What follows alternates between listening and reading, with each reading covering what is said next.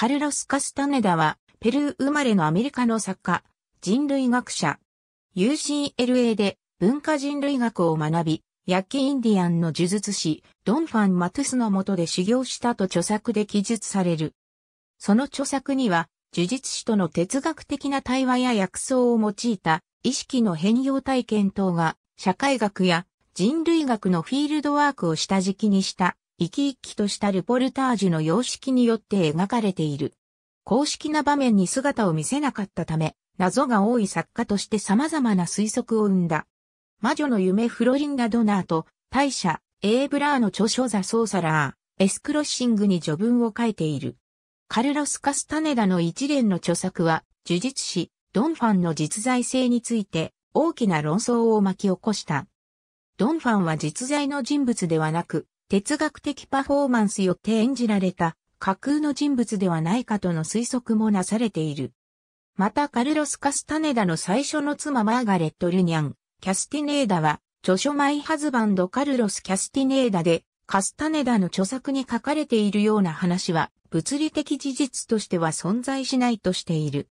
ともあれ、ドンファンを通して語られた非正王的な知恵は読者を魅了し、アメリカ合衆国を中心として世界に広がったカウンターカルチャー全般、とりわけスピリチュアリズム、ニューエイジ運動などに影響を与えた。その背景には、ビートニック世代から受け継がれた禅や道教といった東洋思想への関心や他者の思想によって西欧中心の世界観を反省しようとする人類学的な思想背景があった。また彼女は著書の中でドンファン・マトゥスの名前についてカスタネダはポルトガルのワインであるマテウス・ロゼを飲みながら新たな発想はここからやってくると呟いていたということが書かれている。一連の著作のインパクトは実に幅広い分野に及んでいる。カスタネダの著作は、例えば日本では最初哲学者の鶴見俊介によって紹介され、社会学者の三田宗介によって、比較社会学やコミューン研究の立場から読解が行われた。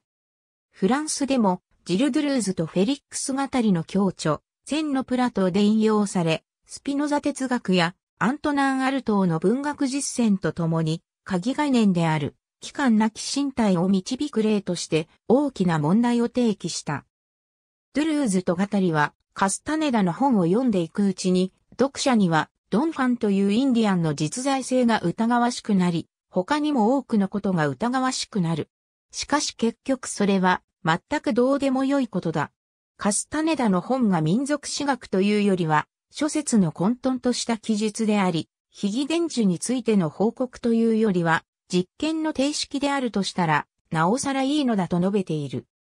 また、日本の宗教人類学者、中沢新一は、ハロルド・ガーフィンケルによる、微社会学のメソッド、エスノメソドロジーをアレゴリー化し、西欧の近代知に内属する人類学的思考の限界を突き抜けようとした実践例であると述べる。初期の著作は、ポストモダン人類学や宗教現象学の実例として大きな話題を呼んだが、後年、カスタネダ自身が自ら体得した知恵を紹介し始めたことから、ネオシャーマニズムのリーダー的存在とみなされるようになっていった。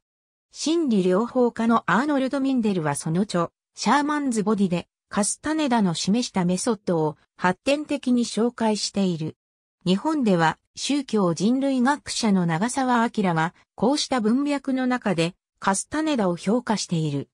また、精神主義的なニューエイジ運動に距離をとっている芸術家たちの多くも影響を公言している。例えば、作家の吉本バナナ、音楽家の細野晴臣も、カスタネダの著作を愛読書として挙げているほか、漫画家の藤原カムイの初期作品に影響が見られる。同じくソと、そのマサヤの漫画、ワイズマンは直接の影響関係にある。元格闘家の須藤元気が自身の著作で呪術師と私を紹介したことから、再び注目されている。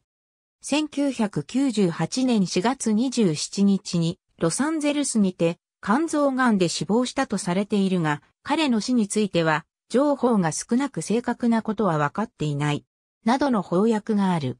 ジル・ドゥルーズ、フェリックス語り、千のプラトー資本主義と分裂症、宇野国和田分け、川で文庫、331から332ページ。孤独な鳥の条件、チベットのモーツァルト初集、講談社学術文庫、2010年、55から56ページ。ありがとうございます。